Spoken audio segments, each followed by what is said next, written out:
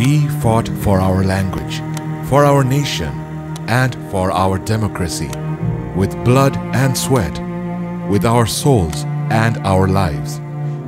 Every time we fought, our identity, our culture, or our nation have been at stake. The journey of the University of Dhaka started over 100 years ago. Since then, it has been the melting pot for freethinkers. But along the way, our freedom as Bengalis has been threatened many times. And every time, University of Dhaka has been at the forefront of the revolutions. It started with the language movement in 1948 when the students of University of Dhaka defied Muhammad Ali Jinnah and his imposition of Urdu as the state language. This sowed the seeds for the liberation of the nation. On the night of March 25, 1971, the Pakistani army orchestrated one of the most heinous operations in the history of mankind. And the first point of attack was in University of Dhaka, killing students and teachers. Teachers who were the nurturer of free thinking. On 25th March, Sharafat Ali, a gold medalist in mathematics from the University of Dhaka and a lecturer of the same department, was killed by the Pakistani army on the teacher's campus. On that very night, young 30 years old Anudvaipayan Bhattacharya was also killed by the Pakistani army. He worked as an assistant house tutor in Jagannath Hall and was scheduled to leave for London on 26th March. The library of Jagannath Hall was named after him to preserve his memory. The perpetrators broke into Jyotirmoy Guhathakurta's residence and shot him. He was the provost of Jagannath Hall and one of the finest scholars of Bengal. He was shot dead in cold blood and died in Dhaka Medical College Hospital on the 30th March 1971. The killing spree went on throughout the night.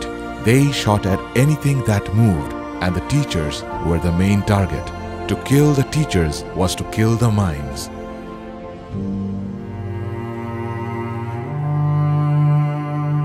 On that fateful night, Ataur Rahman Khan Khadim, a lecturer of physics and a specialist in experimental physics, was killed brutally.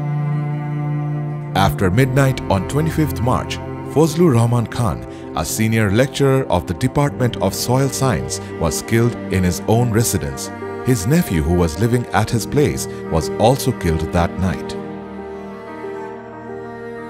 Muhammad Abdul Muqtadir, a promising young lecturer in geology, lost his life at the cruel hands of the Pakistani military. Operation Searchlight also claimed the life of ANM Muniruzzaman, the chairperson of the Department of Statistics. The Pakistan Army also killed his eldest son, his brother and his nephew. Muhammad Sadiq, the principal of University Laboratory School, was shot dead on that dreadful night at his residence at the university campus. Gobindo Chandra Dev, one of the most prolific philosophers in history, was killed on 26 March 1971. He donated all his property and money to University of Dhaka to further the cause of human welfare and establish truth, justice and human liberty. He was awarded Ekushey Padak posthumously in 1986.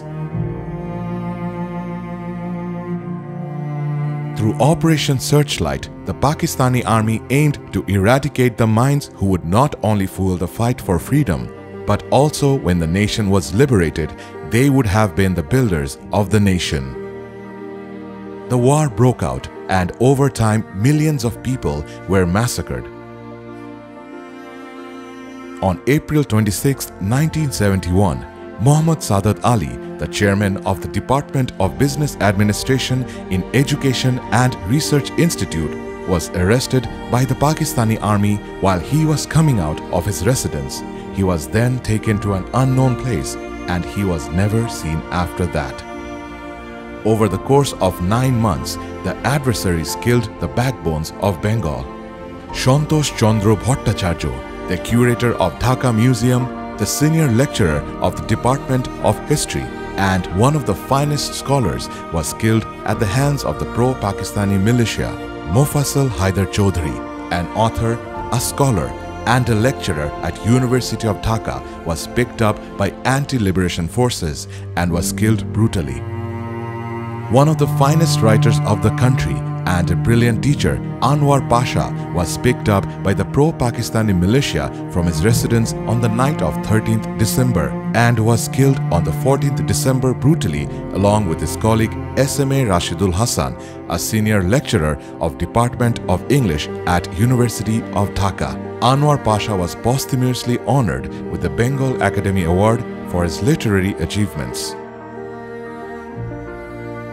M. Abul Khair upheld the principles of social justice and cherished the idea of a welfare state and above all the dignity of men and he too couldn't see the light of a free nation. Shirajul Haq Khan joined University of Dhaka as an assistant professor in the Department of Education Administration. On 14 December 1971, Shirajul Haq Khan was abducted by the activists of Al Badr from his residence at University of Dhaka staff quarters. On the same day, when Ghiasuddin Ahmed, a dedicated teacher at the Department of History at University of Dhaka was picked up for the third time from Mohsin Hall, that was the last time anyone has seen him alive. Ahmed's dead body was recovered 20 days later from the Rayer Bazar slaughter site. ANM Faizul Mahi was a dedicated teacher in the Institute of Education and Research. He was not vocal about the liberation movement, but he worked from within to help the freedom fighters.